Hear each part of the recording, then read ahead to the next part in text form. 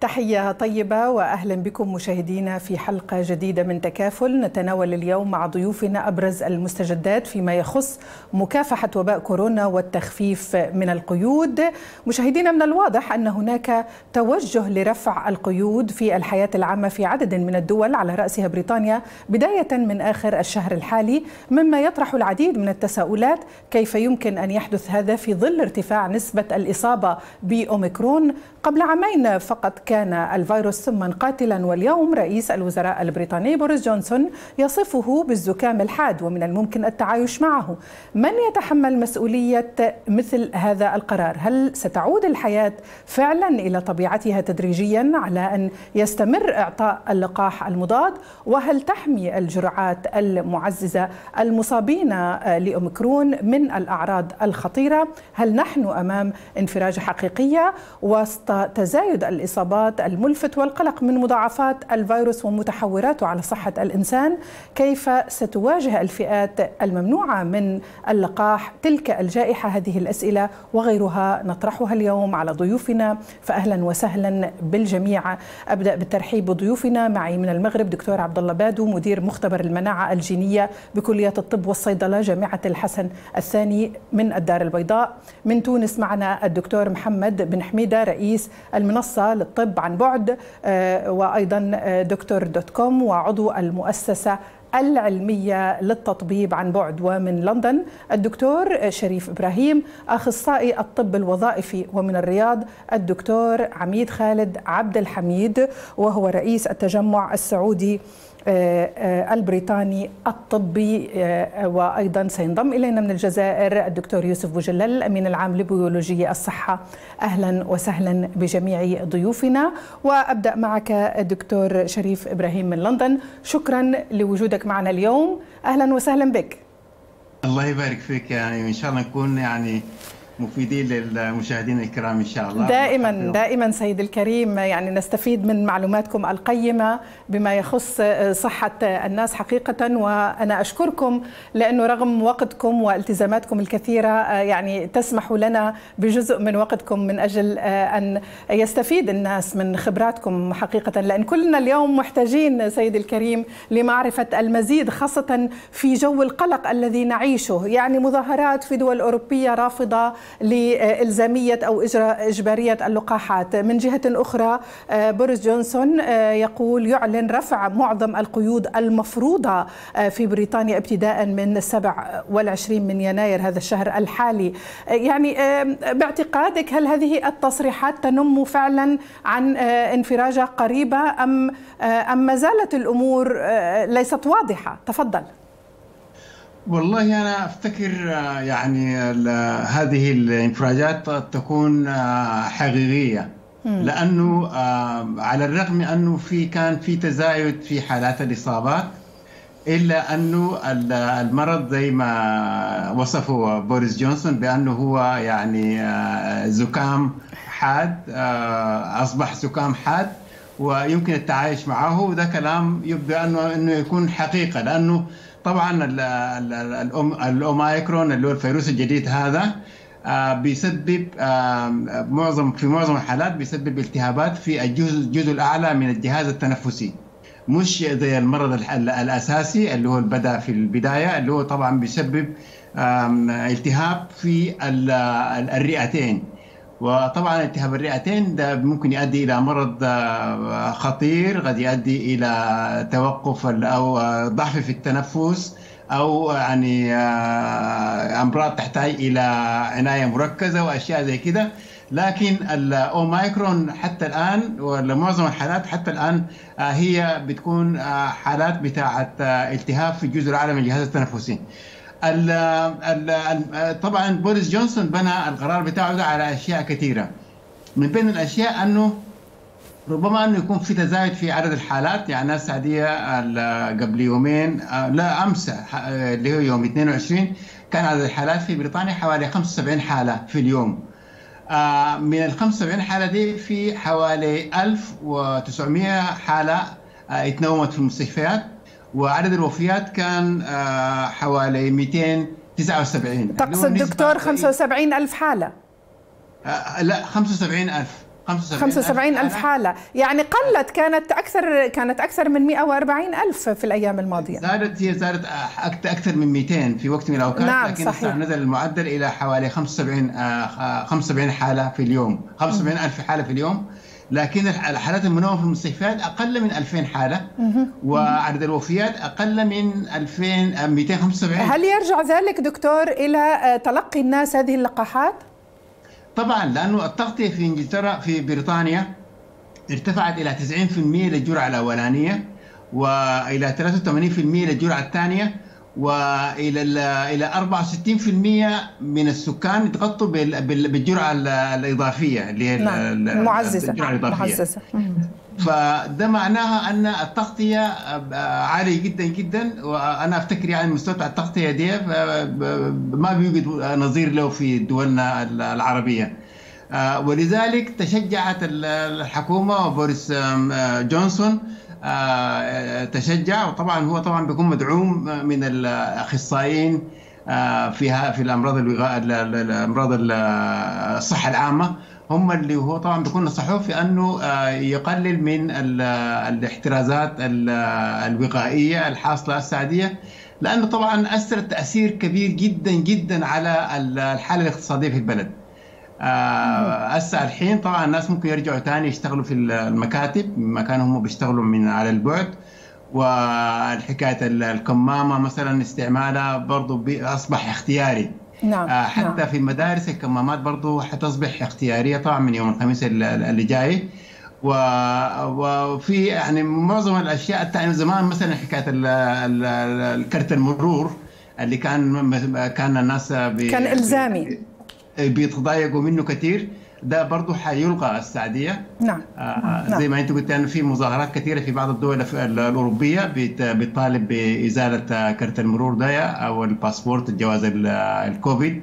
آه يشيلوه خالص آه من دخول الأماكن العامة. نعم. اسمح لي سيدي الكريم أنتقل إلى تونس للحديث مع الدكتور محمد بن حميدة. أهلا وسهلا بك سيدي الكريم. شكرا لوجودك معنا اليوم. شكرا لقبولك الدعوة. يعني في الحديث عن رفع القيود في بعض الدول الغربية. ماذا عن الدول العربية الدول المغاربية في هذا الشأن؟ يعني هناك ازدياد في عدد الإصابات اليوم تشهدها معظم دولنا أو معظم دول العالم إن صح التعبير. ولكن هناك دول ارتأت إلى أنه تكون هناك يتم التعايش مع هذا الوباء خاصة في دول لقحت أكثر من 80% من سكانها ضد فيروس. وأيضا المتحورات الجديدة. تفضل سيدي. شكرا جزيلا على الاستضافة. أهلا بك. بالطبيعة نلاحظ أن الجائحة هذه قاعدة تتطور وأن اليوم أوميكرون ليس بخطير كما شفنا السنة اللي فاتت. وهنا نشوفوا أن عدد الحالات مثلا في تونس ارتفع في الفترة الأخيرة. وصلنا في التحاليل الإيجابية 10000 حالة جديدة على 30000 donc هذا يمثل 32% من الناس اللي هما positif عندهم معنا الكوفيد وهو إيجابي. وهذا عدد مرتفع جدا.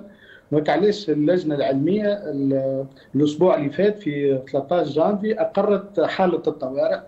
وفي تونس حالة الطوارئ معناها من الساعة العاشرة ليلا حتى الخامسة صباحا يمنع التنقل بين المدن ولا التنقل في حال الطوارئ.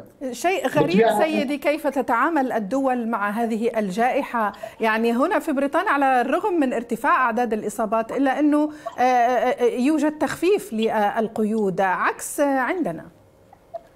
أكيد ثم شكون وصف القرار هذا بقرار سياسي مع كانوا ينتظروا أنه يوم 14 جانفي يوم عيد الثورة معناها أنه مش تصير مظاهرات. فهم يوم 13 أقروا حالة طوارئ باش يمنعوا التجمهر والمظاهرات. donc لكن لكن أكيد أنه اليوم معناها الأوميكرون معناها خفيف. معناها كما قال رئيس الوزراء معناها الإنجليزي معناها أنه معناها عبارة كأنه نزلة نزلة قوية شوية. وهذا نشوفوه حتى في حالة الوفيات. معنا السنة اللي فاتت وصلنا 100 حالة وفاة في اليوم اليوم معنا 10 حالات في اليوم. معناها فهمتني؟ donc الإجمالي الوفيات من بدا الكوفيد 26 ألف حالة. لكن الحالات اليوم نتاع الوفيات هي 10 في اليوم فقط. دونك اليوم معناها عدد المرضى في المصحات والمستشفيات تقريبا 700 حالة. ثم معناها الحالات الجديدة 61 حالة تقريبا معناها واللي هما في في قسم الإنعاش 158 حالة فقط. donc واللي حالتهم خطيرة جدا تحت التنفس الاصطناعي هي 38 حالة.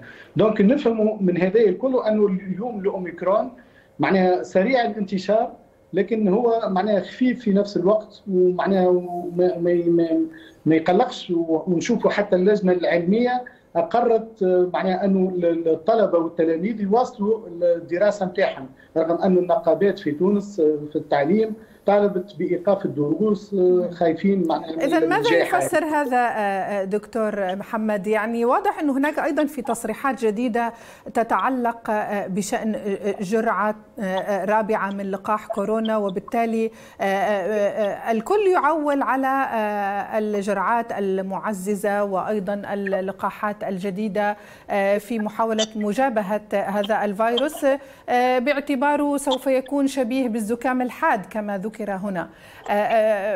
هل سيتم التركيز فقط على اللقاحات وإيجاد علاجات وبالتالي تعود الحياة إلى طبيعتها؟ كونك مختص ومتابع سيد الكريم دكتور محمد ما السيناريوهات القادمة؟ هذا أكيد انه اليوم الدولة التونسية تحث المواطنين باش يكملوا يستكملوا الجرعة الثالثة من اللقاح. تعرفوا أنه في تونس وصلنا اليوم 6.2 مليون اتموا الجرعات نتاعهم. دونك 6.2 مليون استكملوا اللقاح نتاعهم. وبالطبيعة اليوم الدولة التونسية تدعو المواطنين باش يعملوا الجرعة الثالثة نتاعهم. واللي مش مش يمشيوا يسافروا ويجموا يعملوا حتى الجرعة الرابعة. لكن اليوم نفهموا أنه معناها معناها الأحكام الجديدة هي أنه المحافظة على التباعد المحافظة على لبس الكمامات معناها اللقاح معناها هذوما الإجراءات الوقائية اللي الدولة تدعو المواطنين باش يواصلوا فيها وتحاول باش أنه الناس تولي تتعايش مع الأوميكرون هذا ومع نعم. الكوفيد. كلام مهم. أعود للدكتور شريف إبراهيم. دكتور شريف اذا في الدول العربية هناك ما زال الالتزام بلبس الكمامات وأيضا التباعد الاجتماعي. الحالات ترتفع بشكل كبير ومقلق. بينما في الدول الغربية وبريطانيا أيضا هناك الأعداد أكبر بكثير كما نسمع عنها من دول أخرى. ولكن سترفع كل هذه القيود. يعني على ماذا تعول هذه الدول؟ أفتكر اللي هو المقارنة طبعا واضحة جدا جدا بين الدول العربية والدول الغنية زي بريطانيا اللي هي التغطية نسبة التغطية عالية جدا بالتطعيمات نعم. آه زي ما قلنا إنه حتى الجرعة الثالثة اللي هي الجرعة الاحترازية الأخيرة آه هي التغطية بتاعتها حوالي 64% عندنا في في بريطانيا ودي تغطية عالية جدا جدا. لأنه طبعا وجدوا أنه الناس المطعمين هي الجرعة الثالثة طبعا. هو طبعا جو بوريس جونسون هو طبعا باني كلامه كله على الجرعة الثالثة. نعم. باني على الجرعة الثالثة لأن الدراسات أثبتت أنه اللي بيأخذ الجرعة الثالثة بعد أسبوعين بس من أخذ الجرعة الثالثة بيكون حوالي 89% منهم بيكونوا مطعمين بيكونوا يعني يعني تقصد سيدي إنه الجرعة الثالثة هي تقوي من المناعة ولديها فعالية في تقوية المناعة. طبعا اللي هي طبعا هي 89% بتخفض من احتمال الإصابة ب 89% آه وخاصة كمان مع الأوميكرون اللي هو الفيروس الجديد ده اللي هو طبعا فيروس طبعا ظهر في نهاية آه نوفمبر هو طبعا. نعم. ظهر في نهاية نوفمبر. الجرعة الثالثة دي بتخفض من مستوى الإصابة بالأوميكرون بحوالي 65 ل 75% ما صحة ما يتم تداوله اليوم دكتور شريف إبراهيم حول إن هناك لقاحات جديدة سوف يعني تكون ذات فعالية أكبر ومخصصة ل يعني ضد أوميكرون والمتحورات الجديدة يعني قبل يومين سمعنا إنه هناك طفرة جديدة من أوميكرون. طبعا طبعا هي الشركات كلها السعوديه عندها بتتبع بأسلوب اللي هو فيه مرونة عالية جدا جدا في كل اللقاحات الموجودة في السوق يمكن تطويرها عشان تكون تغطي ما هو موجود في الساحة من فيروسات. لأنه طبعا الفيروس زي ما نحن قلنا إنه هو يعني ذكي للغاية وبيغير من شكله بحيث أنه يعني يقدر يستمر في الانتشار بسرعة بسرعة أطول ويصيب وبالتالي فكرة الانتهاء من هذا الوباء حسب كلامك يعني مسألة غير واقعية خاصة إنه هذه الفيروسات تتحور وتتطور باستمرار وبالتالي الاتجاه نحو التعايش معها هذا ما أفهمه منك. طبعا طبعا هي أنا في النهاية بفتكر أنه الفيروس بتاع الكورونا في النهاية حيكون زيه زي الفيروس الموسمي بتاع النزلات البردية اللي هو بتاع الإنفلونزا. حيكون نفس القصة وحيكون نفس التطعيم الناس بياخذوه كل موسم. وحياخذوه وبعد شوية حيكون يمكن يكون محصور بعد شوية على الفئات اللي هي أكثر عرضة للمرض. يعني زي مثلا الناس كبار السن الناس اللي عندها أمراض مزمنة الناس اللي عندها بتاخذ مثلا في مثبطات للمناعة. دي بيكونوا طبعا هم أكثر ناس عرضة للمرض ولذلك بيكونوا هم بتكون الفئات اللي هي بتكون مطلوبة يعني للتطعيم بالمرض سنويا. لكن عموما عموما طبعا السعدي برضو كمان في إنجلترا في أشياء أخرى برضه ماشيه بتشجع برضه على الحكومة بأنها برضه تخفف من الاجراءات الوقائيه بتاعت الكورونا لأنه في هسه وجدوا بعض العقار جديد actually اللي هو بي بي بي له فعالية عالية لعلاج الأمراض الفيروسية. هسه في طبعا بحث كبير جدا جدا اللي هو حيكون يشاركوا فيه حوالي 10000 متبرع. حيشاركوا في هذا البحث اللي هو بيكشف مدى فعالية العقار الجديد اللي هو السعدي مطروح في السوق لعلاج الأمراض الفيروسية. وإذا ثبت أنه هذا العقار حيكون ذو يعني فعالية عالية فده بعد ذاك كل هذه الأمراض الفيروسية حتكون هي يعني شيء بسيط جدا. يعني هذا هذا خبر مفرح خاصة لمن لا يرغبون بأخذ المزيد من الجرعات واللقاحات. دكتور يعني نحن طبعا. الآن أمام أزمة. دكتور محمد أعود لك أشرك معنا. دكتور محمد بن حميدة مرة أخرى. يعني الكثير من الناس منزعجة تقول أخذت الجرعة الأولى والثانية لا أريد جرعة ثالثة وهناك من أخذ ثلاث جرعات ولا يريد جرعة رابعة وهناك تصريحات تصريحات جديدة بشأن جرعة رابعة من لقاح كورونا في أوروبا. يعني وزير الصحة الألماني تحدث أنه لا يتوقع أن تكون الجرعة الرابعة من اللقاحات المضادة لكورونا إلزامية ما دام الشخص قد حصل على جرعة ثالثة من اللقاح. وهنا هذا يطمئن بعض الناس سيد الكريم أنه أولا لا يوجد إلزامية وفي نفس الوقت بأنه ثلاث جرعات تكفي في الوقت الراهن لتجنب مضاعفات هذا الفيروس ومتحوراته. تفضل رأيك. هو بطبيعة أنه اليوم في تونس الجواز معناها الصحي ولا جواز إجباري؟ معناها ومعناها واليوم معناها يمنع الدخول المحلات العمومية والإدارات العمومية والخاصة إلا ما يكون عندك الجواز السفر الصحي. وهذا إجراء تو عنده أكثر من شهر واليوم ثم صرامة في تطبيقه. بالطبيعة معناها حتى في في في الدخول الحدود معناها معناها ثم إجبارية بيان سور جواز السفر الصحي. معناها أنا شخصيا كنت في ليبيا البارح ومعناها معناها ثم تطبيق صارم للإجراءات هذوما في الحدود معناها باش تدخل لتونس. لكن اليوم ما نجموش نقارنوا الإجراءات في أوروبا وال معناها والإجراءات اللي قاعدين نقوموا بها في البلدان العربية. علاش؟ ناخذ مثال أنه مثلا اليوم نشوفوا أنه في فرنسا الطب عن بعد خذا شوط كبير معناها استعمال التكنولوجيا والعيادات عن بعد ملي كانت في 2019 معناها 500 ألف عيادة عن بعد اليوم في 2021 فتنا ل 18 مليون معناها عيادة عن بعد. donc donc الإجراءات المصاحبة هي إجراءات هامة وتخلي الناس معناها تتوقع معناها أن تلحقها العدوى الكوفيد. لكن للأسف في البلدان العربية وفي تونس هذا تأخرت معناها معناها القوانين اللي هي تسمح بالتص... معناها بالقيام بالعيادات عن بعد ومعناها وشفنا أنه بطبيعة الإجراءات هذه ما كانتش ما عاونتش معناها المواطنين باش يحاولوا معناها يعملوا العيادات نتاعهم عن بعد وهكاك يتوقعوا العدوى. فهمتني؟ دونك كيف كيف الضمان الاجتماعي نشوفوا في فرنسا ملي كان ياخذ 70% من من قيمة العيادة عن بعد ولا في فترة الكوفيد ياخذ فيها 100% معناها استرجاع المصاريف هذه معناها الضمان الاجتماعي في الكنان donc اليوم donc معناها المقارنة للأسف معناها ما, ما, ما تكونش واقعية وما تكونش سهلة خاطر الإجراءات المصاحبة هي إجراءات معناها ناقصة في البلدان العربية. وأنا ندعو الدول باش هي بيدا تخلي التكنولوجيا هذه تعاوننا باش ننقذوا الناس ونخليهم يرجعوا للشغل نتاعهم ويرجعوا للعمل نتاعهم في في أحسن الظروف. معناها وتعرفوا أنه اليوم العمل عن بعد ولات ظاهرة جديدة في البلدان المتقدمة لكن للأسف في البلدان العربية بصفة عامة معناها مازلنا متأخرين معناها.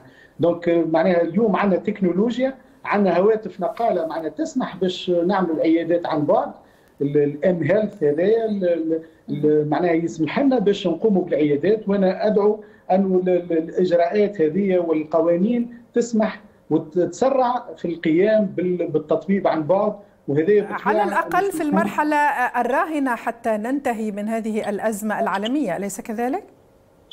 أكيد معناها اليوم اليوم إحنا في حاجة باش باش نقصوا من العدوى. معناها ونواصلوا الشغل نتاعنا معناها معناها اليوم بعد سنتين معناها من الجائحة هذه يلزم معناها نعرفوا كيفاش نتعايشوا معها ونعرفوا كيفاش نتأقلموا ونعرفوا كيفاش نقوموا بالإجراءات اللي تخلينا نرجعوا للحياة العادية معناها في أقرب الاجال معناها اليوم شفنا أنه السفر معناها أنا شخصيا البارح في المطار تونس قرطاج معناها المطار فارغ جدا معناها ما ثماش عدد المسافرين قليل.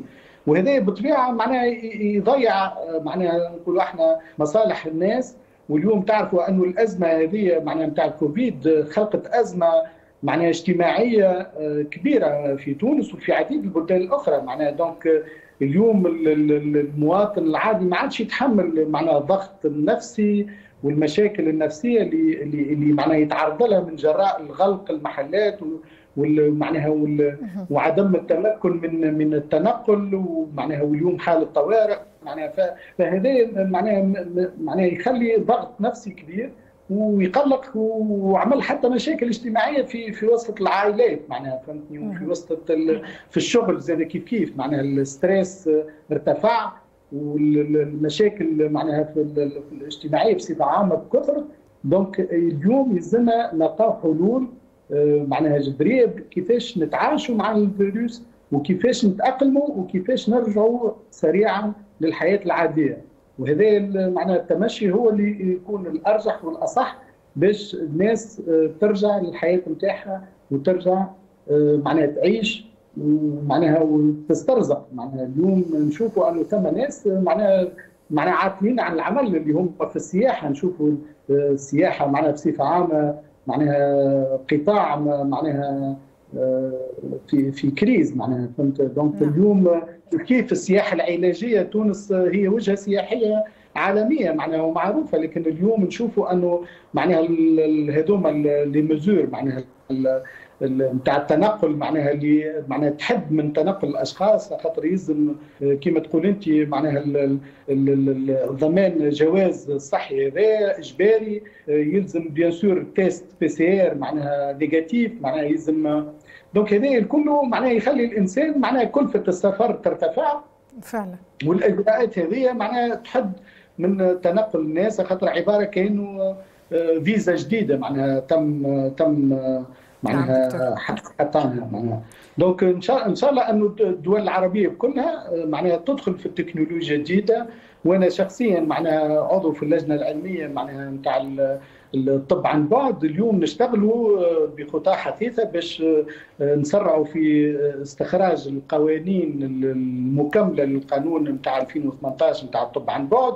وشخصيا معنا عندنا المنصة الرقميه دكتور dot com اللي هي اليوم قاعدة تشتغل. وإن شاء الله زاد مش كيما بدينا في تونس إن شاء الله في ليبيا قريبا مش نبداو نشتغلوا عليها هذه باش نعاونوا الأخوة في البلدان العربية نعم. بصفة عامة أنهم يلقاو حلول شكرا لك دكتور محمد بن حميدة بالفعل يعني هي قد تكون يعني فيها الكثير من الحلول خاصة مع الخدمات الصحية اللي أحيانا تكون متردية أو أو لا تكفي لسد العجز خاصة في فترة ازدياد نسبة الإصابات بكورونا وعدم استيعاب المشافي والمصحات المصحات شكرا جزيلا لك سيدي الكريم. الدكتور محمد بن حميدة رئيس المنصة للطب عن بعد دكتور dot com وعضو المؤسسة العلمية للتطبيب عن بعد. شكرا على هذه المشاركة. انضم إلينا الآن من الدار البيضاء الدكتور عبد الله بادو مدير مختبر المناعة الجينية بكلية الطب والصيدلة جامعة الحسن الثاني. أهلا ومرحبا بك سيدي الكريم. شكرا لوجودك معنا.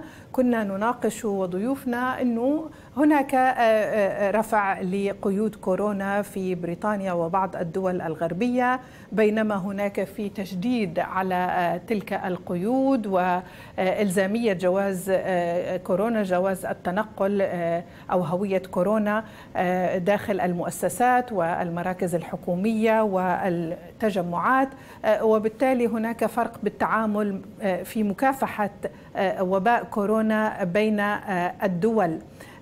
باعتقادك أين نحن نتجه الآن؟ هناك من يقول إنه سوف نتعايش مع هذا الفيروس وبالتالي يصبح كونه كون الزكام الحاد أو الإنفلونزا الموسمية.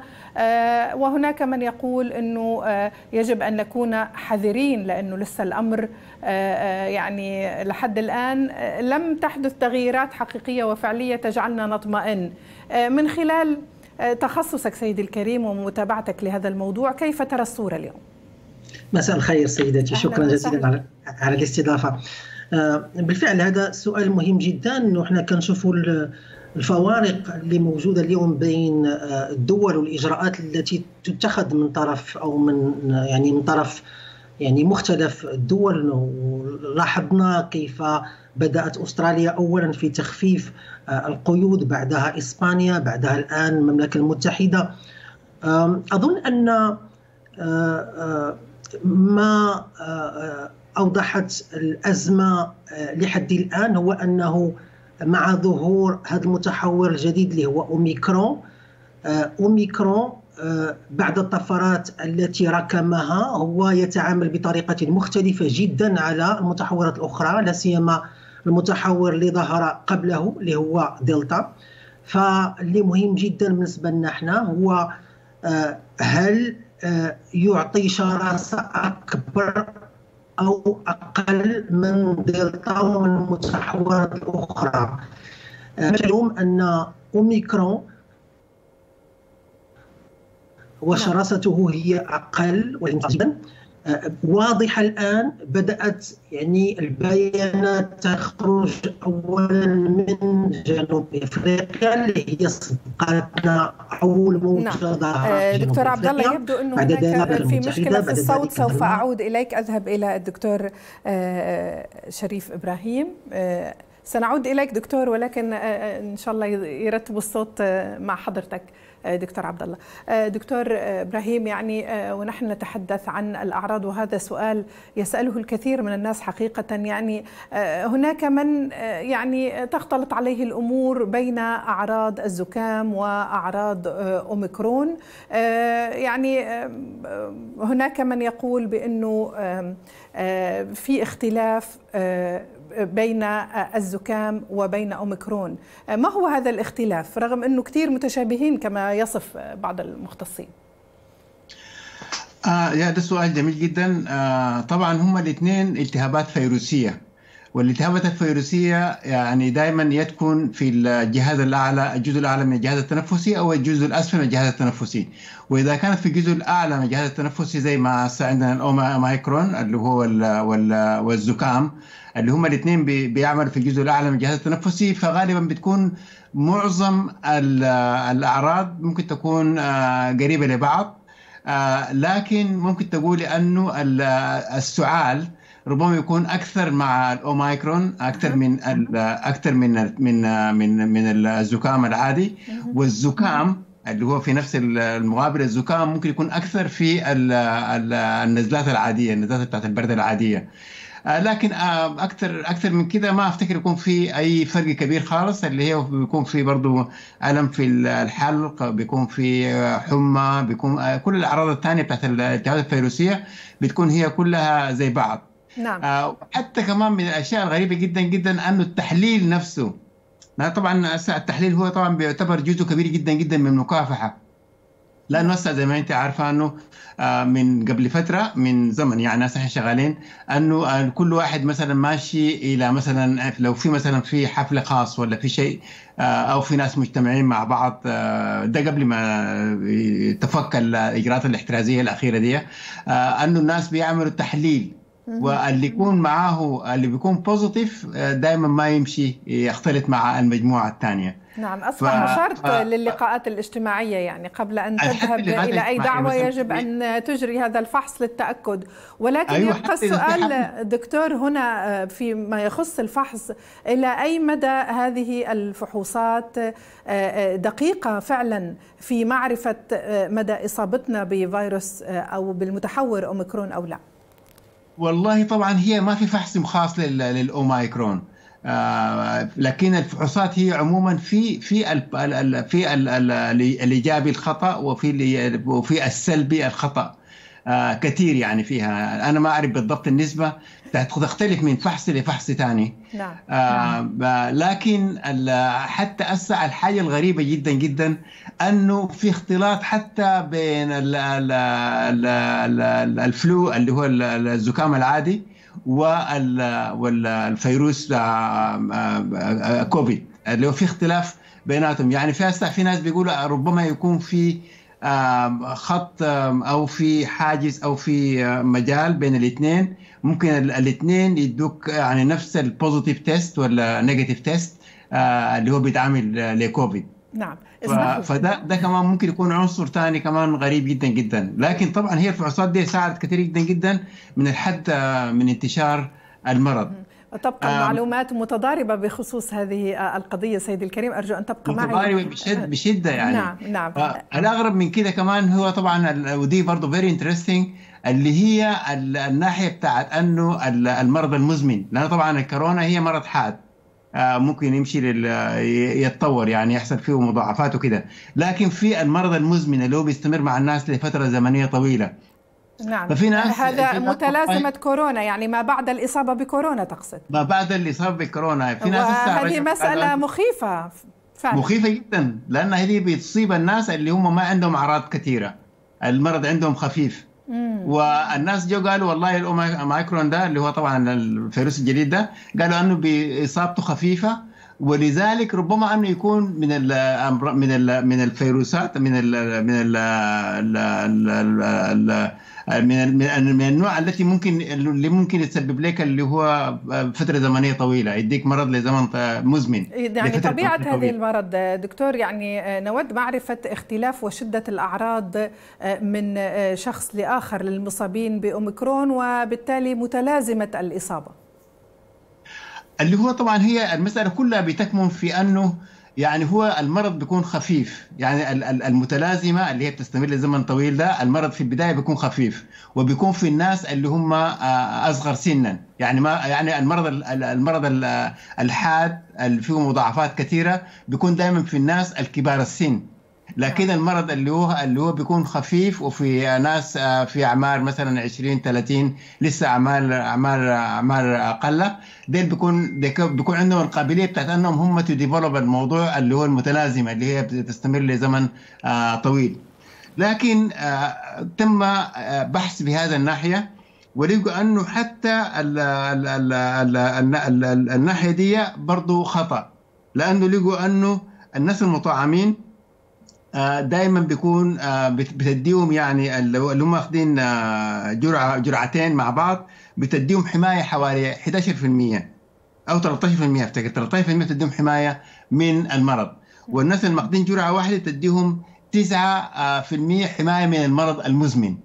ف ف فده ده برضه يعني في ناحية برضه مطمنة إنه حتى المرض المزمن اللي هو بيصيب الناس اللي هم عندهم أعراض خفيفة برضه أقل في الناس المطعمين. نعم على كل حال نتمنى أن لا يكون هذا المرض المزمن مرض إضافي للأمراض التي يعاني منها البشر بالأساس. سيدي الكريم شكرا جزيلا لحضرتك. الدكتور شريف إبراهيم الأخصائي في الطب الوظائفي كنت معنا من لندن. أكيد للحديث بقية. شكرا لك سيدي الكريم. أذهب إلى الدكتور عبد الله بادو من الدار البيضاء. دكتور عبد الله أتمنى أن يكون الصوت أوضح الآن. عذرا أطلنا عليك. كذلك. أهلا وسهلا. دكتور؟ هل هو أحسن الآن؟ أفضل نعم صوت نعم الآن؟ نعم رائع. شكرا لك سيدي. دكتور سؤالنا عن الجرعات المعززة. يعني هل تحمي هذه الجرعات المصابين بأوميكرون من الأعراض الخطيرة؟ آه نعم. آه اللي واضح الآن هو أنه هناك مجموعة من البيانات التي ظهرت في مجموعة من الدول والتي أوضحت أن عندما نأخذ أو عندما يأخذ شخص يعني جرعتين مثلا فعنده حماية من المرض الخطير بالدخول إلى المستشفى ولا قدر الله الوفاة تقريبا بحوالي 70%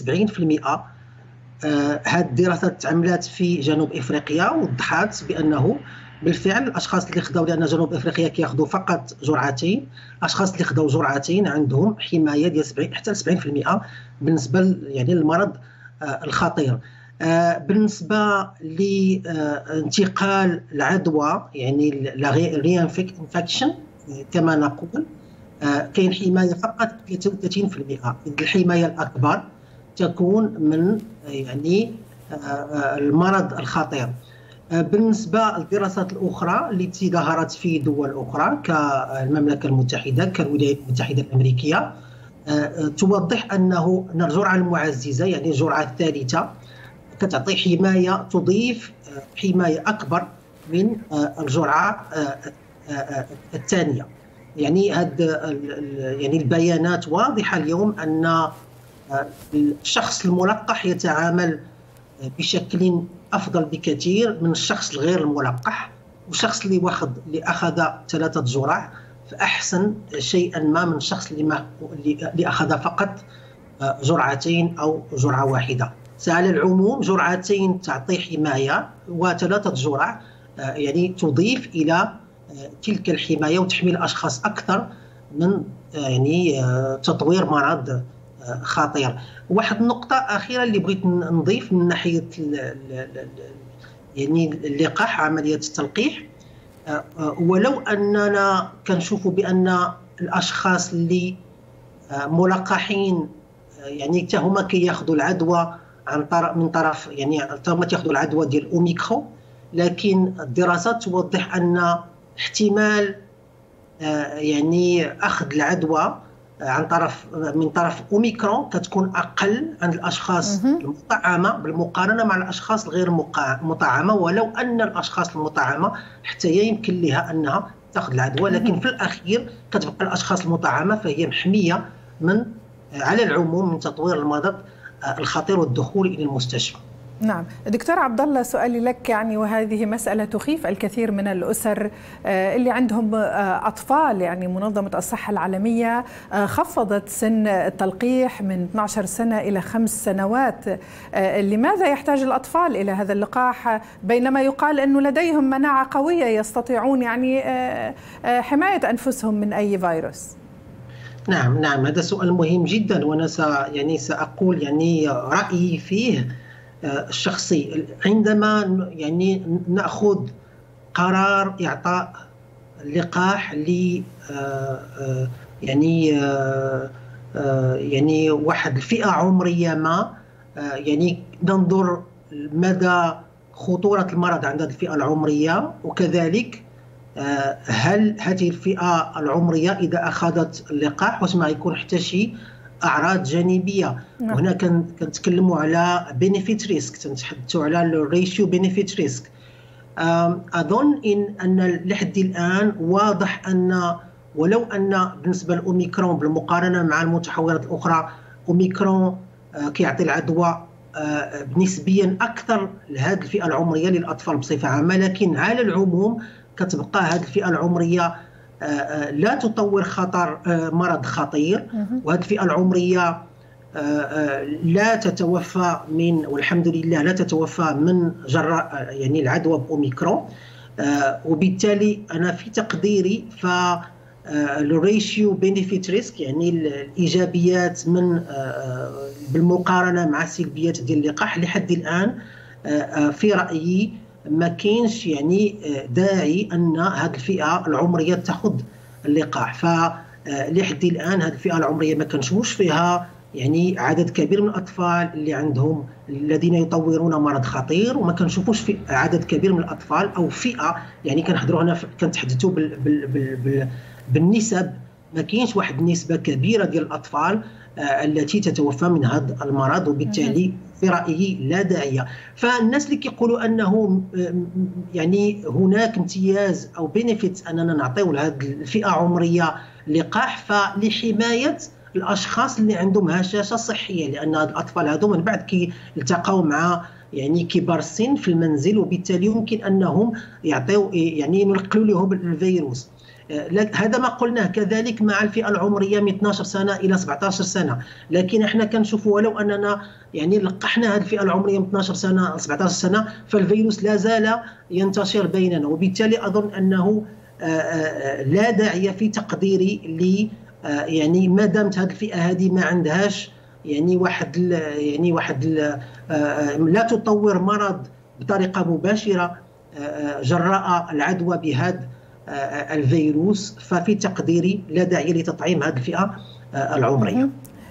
دكتور عبد الله سؤال آخر يتعلق بمن يرفض أخذ اللقاحات ويقول يقول إنه مجرد الإصابة بفيروس كورونا أو بمتحورات هذا الفيروس قد تعطي مناعة وأجسام مضادة تحمي الجسم لفترة، ما مدى صحة ذلك علميا؟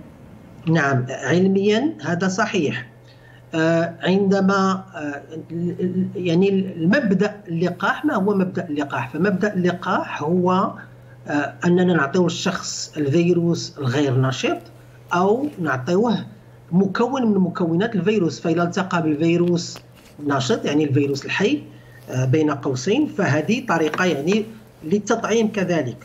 لكن الخطر من هذه الطريقة هذه هو أنه لا سيما مع المتحورات الأخرى هو أننا ما بغيناش واحد العدد كبير ديال الأشخاص أنهم يواجهوا الفيروس النشط مثلا دلتا أو البيتا أو الألفا لأنهم هادو كانوا فيروسات يعني يعني عندهم شراسة كبيرة وهذا اللي كان يخيفنا كثيرا لا سيما بالنسبة للأشخاص اللي عندهم هشاشة صحية هشاشة صحية أو عندهم أمراض مزمنة نعم. الأشخاص اللي وبالتالي وبالتالي نعم حتى الفيروس النشط الطبيعي كيعطي حتى هو واحد يعني واحد الطبقه إلى كلمه نقول من المناعة لكن حينما يكون الفيروس شرس فهذا خطير جدا لأننا نعم. غادي نقابلوا يعني واحد العيد واحد الوفيات كثيرة نعم وهنا فين كتبقى الفرق بين اليوم أوميكرون ودلتا فبالنسبة للبلدان مثلا اللي وصلت ل 98 أو 99% ديال أوميكرون في تقديري يجب يعني حماية بطريقة كبيرة نعم. الأشخاص اللي عندهم هشاشة أكثر من الأشخاص اللي ما عندهمش هشاشه لكن بصفة عامة كيبقى اللقاح يعني مسألة مهمة جدا أننا يعني يعني نلتزم بها. نتبعوا الحملة. لماذا؟ لماذا؟ لأنه ممكن أن باقي عندنا الاحتمال قائم أن متحور أوميكرون أنه يتحور لفيروس آخر اللي ربما غتكون عنده سرعة أكبر.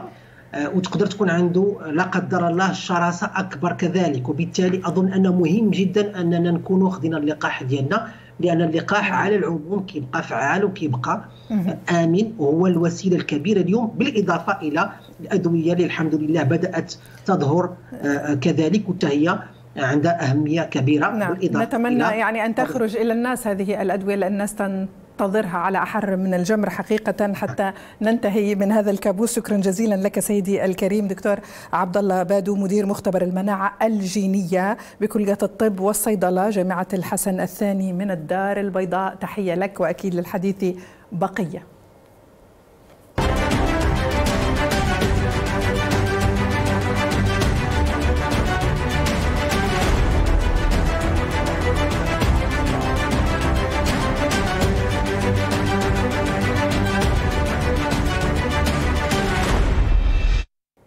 أهلا وسهلا بكم من جديد. انضم إلينا من الرياض الدكتور عميد خالد عبد الحميد رئيس التجمع السعودي البريطاني الطبي. أهلا ومرحبا بك. نورتنا أستاذنا الكريم. شكرا لقبولك الدعوة. أعرف إنه يعني لم نخبرك من فترة للتحضير لها وأعرف إنك في العيادة. شكرا لك لقبول هذه الدعوة. ابدا نتشرف دائما أستاذة وجدان. أهلا وسهلا فيكم. أهلا وسهلا شرفتنا شرفتنا.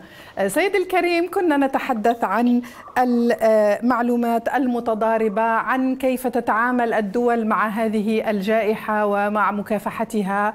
نبدأ من بريطانيا. بريطانيا في آخر هذا الشهر أعلنت إنه في 27 من هذا الشهر الحالي سوف يتم رفع القيود.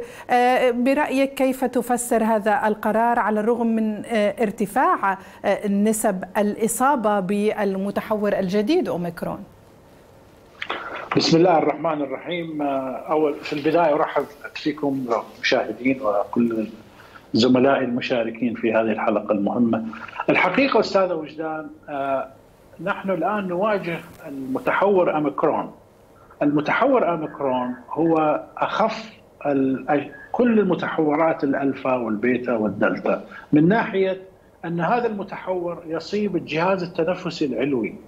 يعني مثل ما قال الأخ رئيس الوزراء بوريس جونسون مثل ما ذكر أنه سيتحول هذا ال pandemic إلى زكام وفعلا أعراض أغلب المصابين اللي يعرفهم في بريطانيا هو كان فقط عبارة عن زكام خصوصا من تلقى الجرعات الأولى والثانية والجرعة التعزيزية الثالثة. فلذلك نرى أنه وكذلك آخر أرقام وزارة الصحة البريطانية تقول لنا أنه 95% من البريطانيين لديهم مضادات انتي بوديز ضد الكورونا ضد الكوفيد 19 هذا يعني أنه الإصابات أول شيء الكل حيصابوا بالأوميكرون. هذه يعني من الأشياء اللي العلماء حقيقة استنتجوها مؤخرا. اثنين الإصابات وبنشوف إذا نراجع المعدلات يعني أفهم عذرا عذرا قاطعك دكتور في هذه النقطة تسمح لي. يعني أفهم من كلامك إنه كل الناس مصابين حتى يثبت العكس. آه يعني يعني مش كل الناس تظهر عليهم الأعراض أليس كذلك؟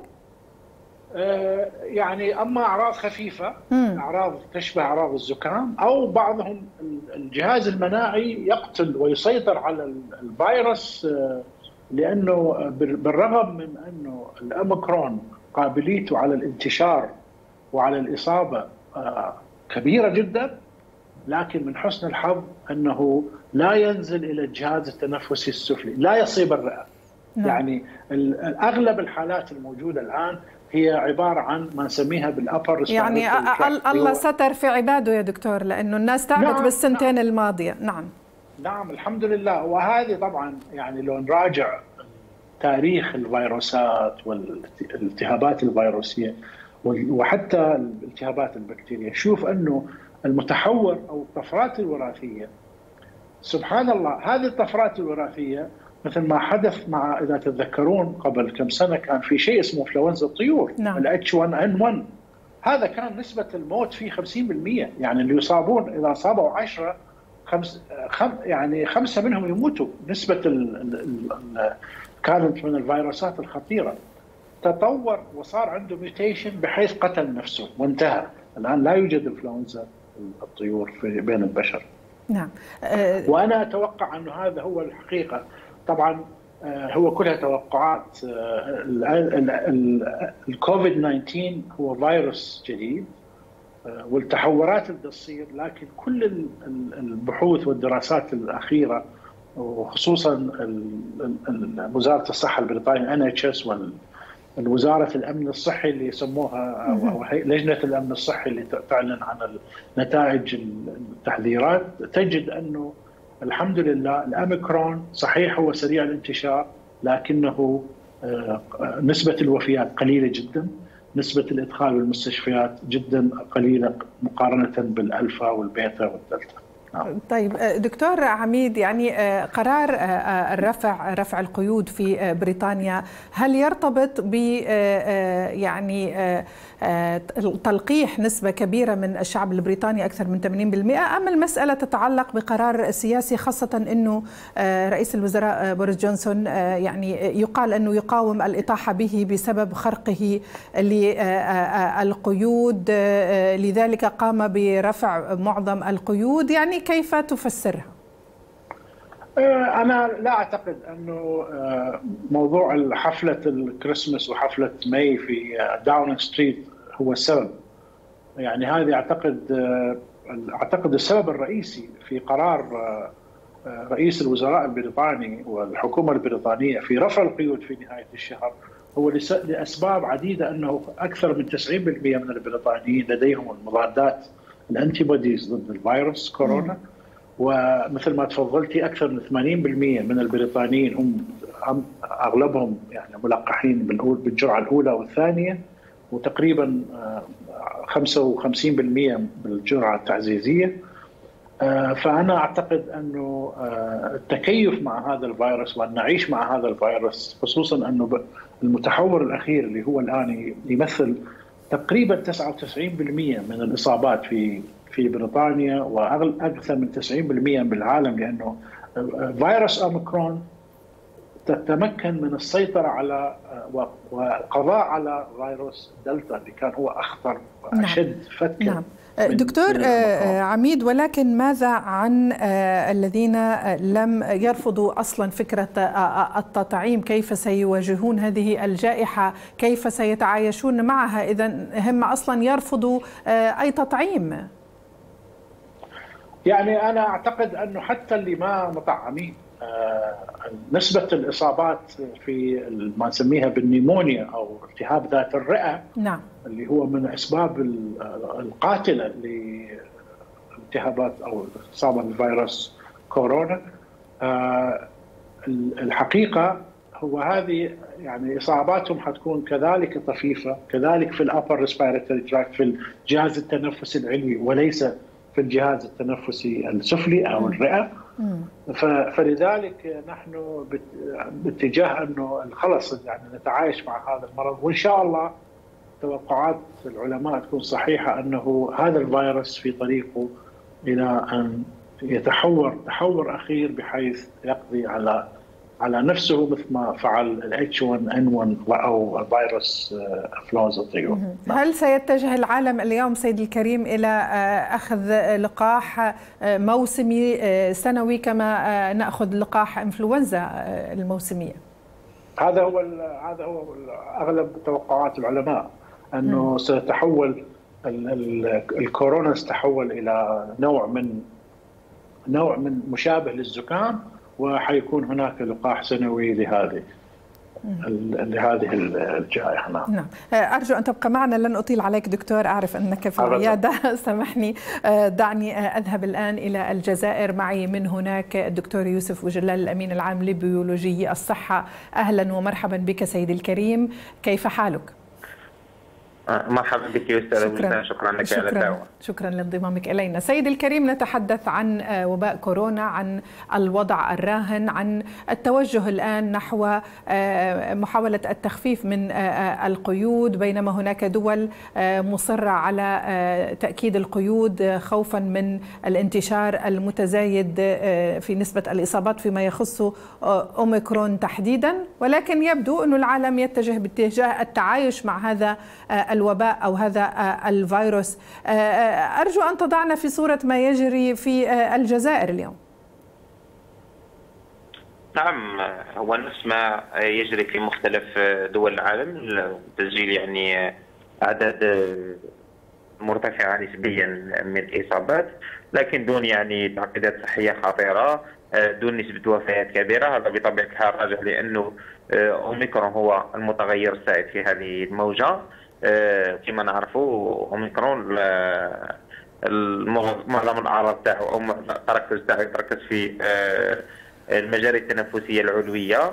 يعني ما كانش هناك تعقيدات صحية خطيرة جدا على مستوى الرئتين ولا تعقيدات صحية أخرى. إلا بالنسبة للاشخاص المسنين وذوي الأمراض المزمنة. لهذا لاحظنا انه هناك نسبه وفيات قليله نوعا ما. بطبيعة الحال هناك أيضا حملات التلقيح هناك يعني حملات الكشف المكثف عن الإصابات لكسر سلسلة العدوى. يعني في انتظار ما تسفر ستسفر عنه الأيام المقبلة. نعم. دكتور يوسف يعني لماذا تختلف الدول في سياساتها تجاه مكافحة هذا الوباء؟ يعني دول ترتفع فيها نسبة الإصابات وتتحدث عن رفع القيود بالتالي تعود الناس إلى أعمالها ويصبح لبس الكمامة ليس إلزاميا أو إجباريا. تعود الحياة بشكل تدريجي إلى طبيعتها. بينما هناك دول لا. يعني ما زالت القيود موجودة ومستمرة. باعتقادك على ماذا تعتمد هذه الدول في قراراتها؟ نعم اولا فيما يخص يعني أنه ستعود الحياة إلى طبيعتها لا أظن أن هذا سيكون يعني قريبا خاصة أنه هناك دراسات حديثة أثبتت أنه الإصابة بفيروس كورونا لديها تبعيات مستقبلية على صحة الشخص المصاب يعني مثلا داء السكري بالنسبة للأطفال والمراهقين أقل من 18 سنة الذين أصيبوا بفيروس كورونا وغيرها من الأمراض. أما الآن فيما يخص السياسات هي تبع بطبيعة الحال لاستراتيجية الدولة المعنية. مثلا الدول التي وصلت إلى نسبة تلقيح أكثر من 70% ولديها جواز صحي للتلقيح إلزامي لكل الأشخاص خاصة في الأماكن العمومية. يمكنها يعني التخفيف من إجراءات خاصة أنه التلقيح أثبت نجاعته ضد المتغير أوميكرون يعني ما كانش هناك تخوف كبير. لكن الدول التي لم تصل إلى نسبة تلقيح تتجاوز 50% لا تستطيع أن يعني تتحمل هذا نعم. الخطر نقدر نقولوا ولا المجازفة. يعني وترفع إجراءات الوقاية لأنه سيكون هناك انتشار دكتور يوسف ذكرت كلمة يعني أود أن أعود لها رجاء فيما يخص من يصاب بفيروس كورونا. تحدثت قبل قليل بأنه قد تحدث مضاعفات على المدى البعيد خاصة لمن يعانون من أمراض مزمنة وذكرت الأطفال والسكري عند الأطفال. ماذا يعني ذلك؟ نعم دراسة من طرف CDC Central of Disease Control أثبتت انه دراسة الأسبوع الماضي فقط أثبتت انه الأشخاص أو الأطفال والمراهقين أقل من 18 سنة المصابون بفيروس كورونا لديهم احتمال مضاعف أنه يتم إصابتهم بداء السكري. يعني معرضين للإصابة بداء السكري لهذا يجب مراقبتهم بصفة دورية والقيام بالتحاليل الخاصة الكشف عن وهذا سيدي ينطبق على من يأخذ اللقاح أيضا؟ ينطبق على من تمت إصابتهم سواء أخذ اللقاح أو لم يأخذ. اللقاح. آه لأنه آه اللقاح يحمي من التعقيدات لكن يحمي من الإصابة يعني كاين ممكن ناس أخذوا اللقاح وتمت إصابتهم يبقوا معرضين يعني لخطر لخطر داء السكري الفئة هذه. لكن نفس الدراسة أثبتت أن اللقاح يخفف من من حدة أو من احتمالية إصابة نفس الفئة العمرية بداء السكري.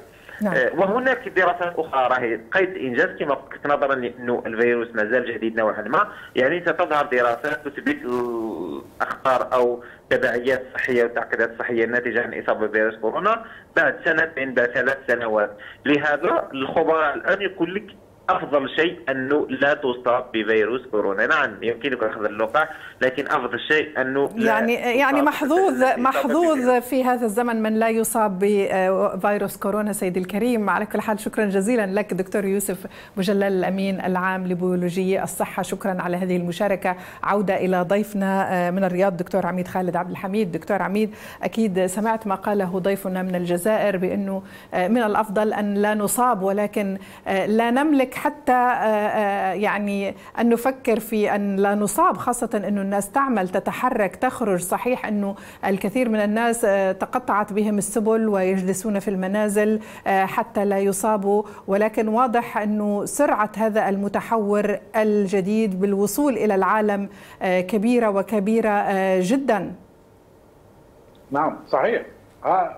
يعني متحور الأميكرون الآن تقريبا مثل ما ذكرت سابقا أنه هو 99% إذا ما وصل 100% في بريطانيا في الولايات المتحدة وصل إلى تقريبا 80% وسيشمل العالم كله. يعني تمكن الاميكرون من القضاء على دلتا اللي هو أخطر. ويتوقعون العلماء أنه الكل سيصاب بالاميكرون هل هذا معناه سيد الكريم أنه مع مرور الزمن البشرية سوف تتعرض لأمراض جديدة نتيجة الإصابة بهذا الفيروس ومتحوراته؟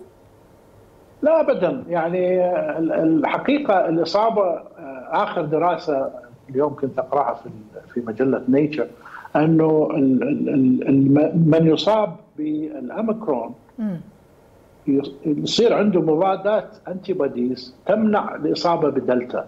أه. اللي يصير عنده اللي يصاب بدلتا ممكن أن ينصاب بال Omicron، ال Omicron سريع الانتشار لكن من من حسن الحظ أنه قليل الأعراض مثل ما قلنا هو فقط في الجهاز التنفسي العلوي وفي أغلب الحالات هو يمر مرور الزكام كأنه زكام. فلذلك نرى بإذن الله أنه نحن مقبلين على أن يتحول أن نتعايش مع هذا المرض يتحول من جائحة إلى من pandemic إلى epidemic إلى إلى وباء يتعايش معه البشرية. الآن صحيح هناك ما نسميه بال long COVID يعني هناك تقريبا نسبة 1% من اللي يصابون بالكوفيد يعانون من ال long COVID وهذا ينطبق على ال Alpha وال Beta وال Delta. لا توجد دراسات عن ال Omicron هل هناك أيضا يعني long COVID أو أعراض اللي تطول أكثر من يعني مثل ما نعرف إحنا الإصابة بكوفيد.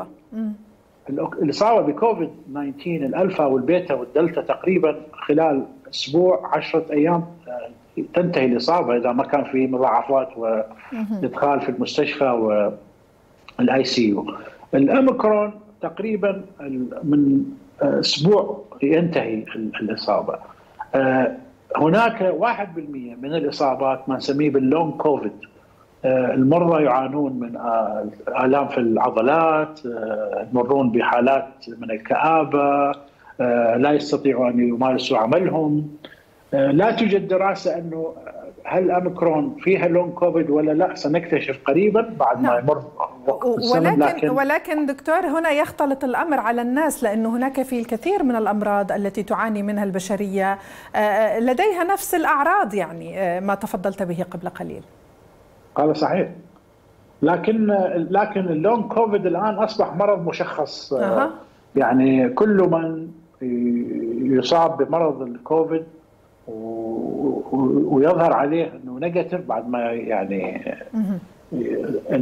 ال PCR أو الجهاز الفحص فحص الكورونا يثبت إنه هو سلبي لا يوجد لديه لكنه يعاني من ما بعد الكورونا من أعراض آلام في العضلات عدم وجود طاقة عنده لا يستطيع يعني بالتالي عمله. أفهم من كلامك دكتور عميد لا يجب إهمال المصاب بكورونا إنه فقط عندما يرى النتيجة بأنه شفي انتهى الأمر قد تكون هناك مضاعفات يجب الانتباه لها أليس كذلك مضاعفات نادرة 1% نعم هناك مضاعفات نعم. اللون كوفيد وحالة مشخصة طبيا ومعروفة يعني بالنسبة ل من الحالات الآن معروفة. لكن أرجع أقول أنه بإذن الله وهذا يعني كل الدراسات والبحوث تشير إلى أنه نحن الآن بصدد بإذن الله أنه نغلق هذا الملف ليس نغلق إلى الأبد لكن سنتعايش معه. دكتور عميد يعني الناس تعبت كل يوم في جرعة جديدة وجرعة معززة. متى سننتهي من هذه الجرعات ونأخذ على الأقل جرعة واحدة في السنة؟ لا. المصيبة أستاذة وجدان أنا أشوف أرقام في فلسطين المحتلة. بالرغم من أنه أخذوا أربع جرعات نعم. مش تعزيزية ثالثة أخذوا الرابعة. نعم. في دولة الاحتلال لكنه أول امبارح وصلوا إلى 200 ألف. اصابه يوميه 200 ألف. 200 ألف لدولة صغيرة فيها مليونين؟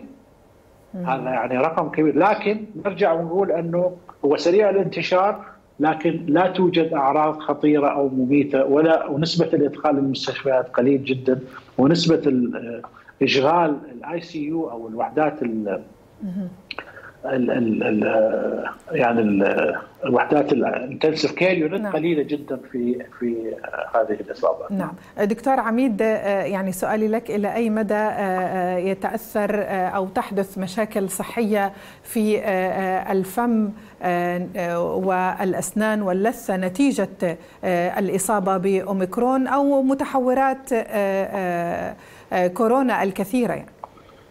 نعم سؤال مهم جدا أستاذ وجدان جيت في اختصاصي يعني. الحقيقة الحقيقة حسب البحوث والدراسات اللي عملناها خلال السنتين هذه لا توجد أعراض كلاسيك أو أعراض لها علاقة فقط في الكورونا. لكن الشيء الثابت والمهم جدا أنه كل من يعاني من التهابات في اللثة عادة ما ينتهي فيه إذا ما أصيب بالكورونا ينتهي فيه إلى التهاب ذات الرئة أو النيمونيا. يعني كل من يعاني من التهاب في اللثة المزمن غير المعالج ومثل ما تحدثنا أستاذة وجدان أنا وأنت أكثر من مرة في في برنامجك الناجح أن كل البحوث والدراسات تشير أنه اللي يعاني من التهاب شديد في اللثة يصاب بأمراض القلب والشرايين وكذلك ال pneumonia التهاب ذات الرئة نعم. فنجد أنه في دراسة عمل عمل عمل عملوها في في نيويورك اكتشفوا انه نص 50% من من أدخلوا في ال intensive care unit هم كانوا يعانون من التهاب شديد في اللثة لم يعالج آه لم يعالج يقصدون قبل الإصابة بالفيروس. قبل الإصابة آه. نعم. لم لم يلزم طبيب الأسنان ولا ينظف لا لا يقوم بتنظيف الفم بالطريقة الصحيحة ولا يتم علاج مرض اللثة. فيبقى مرض اللثة مستشري المرض اللثة الجيوب اللي تصير في في عظم الفك ما بين الأسنان وما بين عظم الفك هذه يكون مرتع ملايين المستعمرات الجرثومية من ضمنها ال pneumococci وبعض الجراثيم اللي تصيب بال pneumonia أو التهاب ذات الرئة. آه تقريبا 70% من المصابين بالكورونا يعانون من نوع من التقرحات. وهذه التقرحات تشبه بالتقرحات اللي يصابون فيها أمراض الهيربيز والفيروسات الأخرى، لكن أغلب العلماء وأغلب الدراسات اللي تم اجراءها حول مرضى الكورونا لم يجدوا كلاسيكال أعراض خاصة في الكورونا. لكن أغلب ال طبعا الشيء الثابت والوحيد هو ذهاب حاسة التذوق. هذه كانت من أعراض الكلاسيك الوحيدة نعم. اللي تم رصدها في داخل الفم. أما التقرحات والتهاب اللثه وبعض التشققات في الخد بعضهم بعض العلماء يقولون هذه بسبب الجفاف اللي يصير بسبب الالتهاب الفيروسي. لكن لا يوجد أعراض محددة مرتبطة بالكورونا ما عدا غياب حاسه التنوع نعم أسألك سؤال آخير حتى تستطيع فضل. العودة إلى يعني المرضى في العيادة وشكرا جزيلا لهذا الوقت كله. السؤال لكم الله يسلمك دكتور. السؤال لكم كأطباء ومتخصصين في هذا المجال كيف تتعاملون مع المرضى خاصة بانه الإصابة تنتقل عبر التنفس وعبر الفم؟ أعتقد أنه الوضع صعب يعني الله يكون في عونكم. دكتور؟ نعم نعم أستاذ وجدان طبعا أطباء الأسنان هم أكثر عرضة من بقية التخصصات الطبية لسبب انه أطباء الأسنان يستعملون المحفر والترددات الصوتية وهذه تؤدي إلى إخراج كمية كبيرة من الرذاذ المرتبط باللعاب وهذا اللعاب طبعا يحتوي على الفيروس فلذلك يعني جمعية أطباء الأسنان البريطانيه يعني أثبتوا أنه الآن واحدة من شروط عيادات طب الأسنان في بريطانيا أن يكون لدى طبيب الأسنان المشفط ذات السرعة الهائلة بحيث لا يسمح للرذاذ أن ينتشر اللعاب أن ينتشر في الغرفة مم. لأنه حيصيب الطبيب والممرضة ويبقى في مثل ما نعرف الفيروس قد يبقى في الجو أكثر من 24 إلى 48 ساعة فلذلك الآن كل عياده في في بريطانيا يجب أن يمتلكون هذه الشفاطة إحنا ال suction device يكون ذات very high power بحيث ما لا يسمح لي ولكن ولكن هل هل هل تحمي بالشكل الكافي؟ لأنه نحن رأينا أطباء يلبسون لبس خاص يعني أحيانا يلبسون ثياب بصراحة من الصعب أن يلبسها أي إنسان في طريقة التعامل مع المريض. يعني أنا أشعر بهذه المعاناة حقيقه.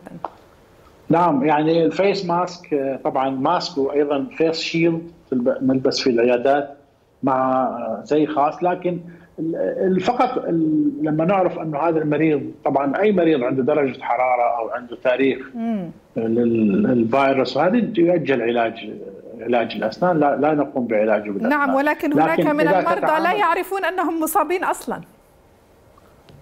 نعم هذا طبعا يعني لذلك إحنا يعني دائما نطبق ما نسميه ال universal cross infection control أو اساليب العالمية لنقل لمنع نقل العدوى أنه نعتبر كل مريض هو مصاب والطبيب مصاب والممرضة مصابة. فنحمي الطبيب من المريض والمريض من الطبيب والممرضة من الطبيب والممرضة من المريض. يعني نستعمل نستعمل هذه كل أساليب الحماية. كل أس... والحمد لله. يعني أنا في أظن كان السنة الماضية أصبت بالكورونا. الحمد لله. سلامتك يا دكتور. وفي نفس اليوم وفي نفس اليوم اللي الله يسلمك في نفس اليوم اللي أصبت فيه كنت شايف ثلاث ثلاث أميرات آه. من هنا في الرياض. فراسا اتصلت فيهم وقلت لهم من فضلكم أنا طلعت هذه اعملوا والحمد لله ثلاثتهم لم يتم انتقال عدوى الحمد لله الحمد نحن نحن نستعمل اليونيفرسال كروس انفكشن كنترول بحيث نعتبر الطبيب مصاب الممرضة مصابة والمريض مصاب. فنتعامل بهذا الأساس والحمد لله يعني شوفين يعني هذه الطريقة هي الأنجح في منع انتقال العدوى. وربنا الحامي طبعا. أكيد ربنا الحافظ والحامي. شكرا جزيلا دكتور سعدت بالحديث معك اليوم وأكيد المشاهدين يعني اللي ينتظروك في الاستوديو تأتينا إن شاء الله في القريب العاجل بعد أن يرفعوا القيود. يعني تصبح الحياة أفضل بإذن الله. ربما لا تعود إلى طبيعتها ولكن يعني نتمنى أن تكون أفضل من الأيام الصعبة التي مرت علينا منذ سنتين إلى يومنا هذا. موضوع موضوع الحلقة جاهز بانتظار رفع ونحن بانتظارك. شكرا جزيلا. نتمنى لك السلامة دكتور عميد خالد عبد الحميد رئيس التجمع السعودي البريطاني الطبي. كنت معنا من الرياض. شكرا لك. شكرا لقبول الدعوة. تحياتنا. اذا مشاهدينا نشكر حسن المتابعة. نشكر كل الضيوف كل من شاركنا اليوم في هذه الحصة. نترككم مع باقي برامجنا الحوارية. إلى اللقاء.